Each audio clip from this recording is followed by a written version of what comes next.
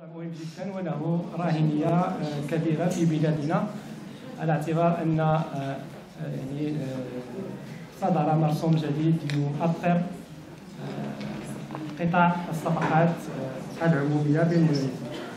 طبعا هو موضوع مهم لعدة اعتبارات.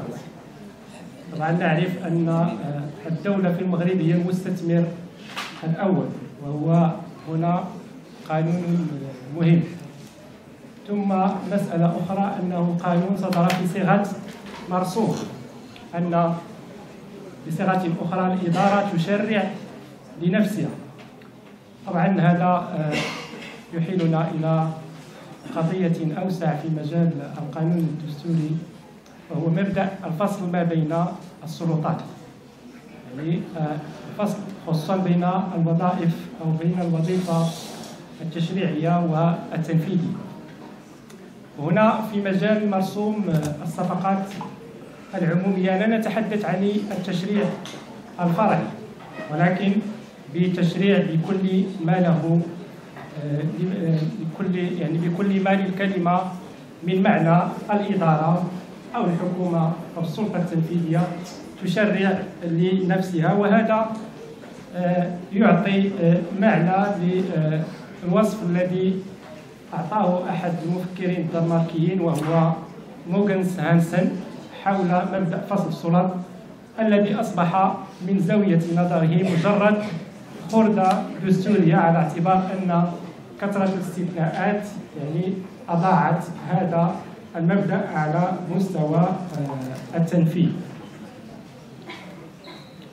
طبعا لكن الجانب الذي أود أن أتقاسمه معكم اليوم هو دور الإدارة الإلكترونية على آه، مستوى أو على آه، الجانب المتعلق بضمان شفافية إجراءات ومساطر إبرام الصفقات العمومية فعلا الإدارة الإلكترونية تضمن هذه الشفافية كما هو آه، معلن عنه خصوصا على مستوى اختيار المتنافسين.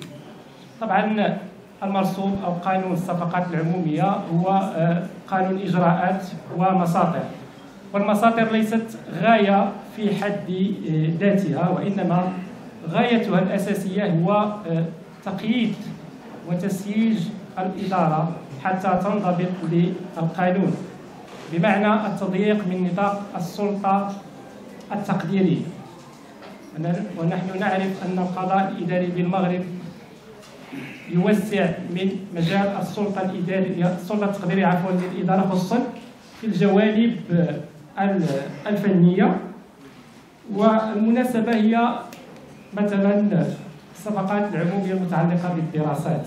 هذا مجال فني والرقابة على آه، قرار الإدارة بخصوص إسناد الصفقات بشأنه هو من الناحية العملية آه، يصعب آه، جدا مثلا لأن الفصل أو الماده 144 من مرسوم الصفقات العمومية المتعلقة بصفقات الدراسات تتكلم عن تقييم الجودة التقنية. وتمنح للإدارة سلطة تقديرية واسعة على مستوى هذا التقييم. يعني تنقيط آه، ملفات المترشحين تنقيط البروفايل إلى غير ذلك. وهذا يمنح كما قلت سلطة تقديرية واسعة للإدارة وبالتالي يصعب مراقبتها من زاوية مرسوم الصفقات العمومية الذي يضع إجراءات ومساطر آه، عديدة. ونحن نعرف طبعا الإدارة الإلكترونية ظهرت في سياق ما يسمى بسياسات الإصلاح الإداري من أجل آه، طبعا تخليق المرفق العام وتسريع الإجراءات ويعني آه، وتجسيد أو ضمان جودة آه، القرار الإداري إلى غير ذلك طبعا هذه الاداه تحققها الإدارة الإلكترونية لكن السؤال الأساسي هل تضمن آه، الشفافية؟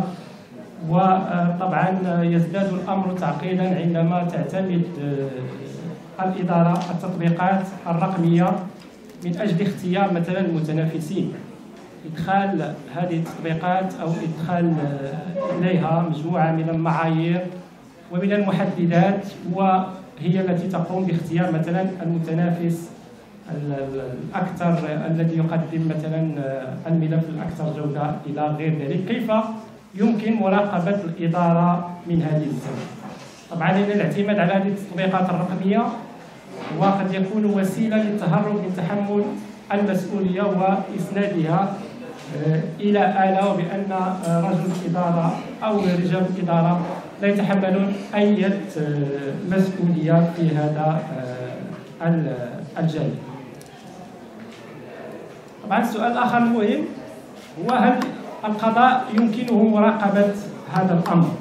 عندما آه، تعمل الاداره إلى آه، استعمال التقنيات الرقمية في اتخاذ قرارات في مجال الصفقات آه، العمومية.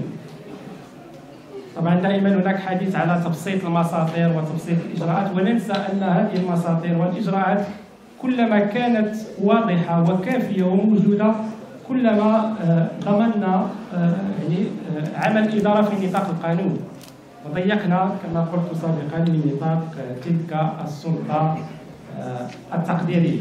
طبعا النموذج البيروقراطي أو التدبير البيروقراطي تعرض لانتقادات عديدة واعتبر بأنه مثلا من قبل المفكر القانوني المهم جدا هانس كيلسن اعتبر النموذج البيروقراطي بأنه يعرقل عمل الإدارة ويقيد مجال تحرك الإدارة.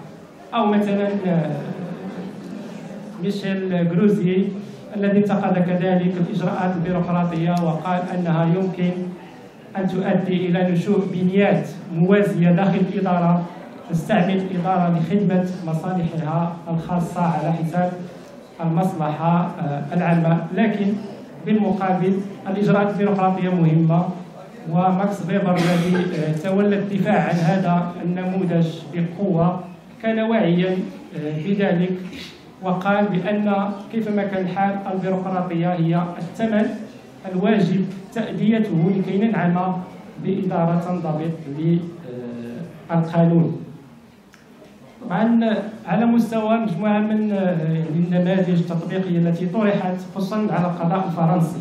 كيف تعامل مع آه، بعض الإشكالات التي آه، يفرزها اعتماد الإدارة على التطبيقات الرقمية في اختيار مثلا ويهمنا هنا مجال الصفقات العموميه في اختيار مثلا المتنافس الذي قدم العرض يعني الأكثر ملائمة من الناحية الاقتصادية. طبعا مرسوم الصفقات يقيد عمل الإدارة على مستوى اختيار أو دراسة الملفات المالية لكن قبل الوصول إلى هذه المرحلة الإدارة تتدخل وتضع كما قلت معايير وتقسم مجموعة من الملفات من الناحية التقنية أقصد من ناحية التقييم التقني قبل الوصول إلى مرحلة العرض المالي. طبعا كما قلت عرض هذا التمرين القانوني على القضاء آه، الفرنسي. ورفض مراقبة هذه التطبيقات وكيف تعمل وكيف يتخذ داخلها القرار. اعتبرها بأنها جزء من الأعمال التحضيرية التي ليس لها أي أثر قانوني هي فقط وسيلة تساعد رجل الإدارة على اتخاذ القرار وبالتالي ليست موضوعا لأي آه، مراقبة. وأكتفي في هذا القدر وأشكركم.